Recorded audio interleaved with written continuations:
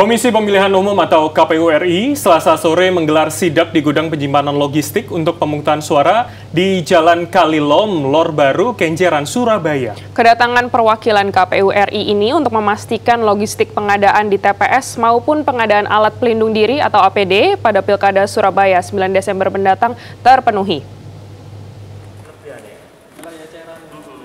Kepala Bagian Pemeliharaan Sarana dan Prasarana Pemilu dan Inventarisasi KPU RI Rabu sore melakukan sidak di gudang tempat penyimpanan logistik untuk pengadaan kelengkapan TPS maupun alat pelindung diri di Jalan Kalilom Lor Baru, Kenjeran, Surabaya. Datang bersama dua orang staf perwakilan KPU RI ini langsung melakukan pengecekan dan melihat kelengkapan pengadaan untuk TPS maupun APD bagi petugas yang nantinya akan digunakan pada saat pelaksanaan pemilihan serentak 9 Desember mendatang.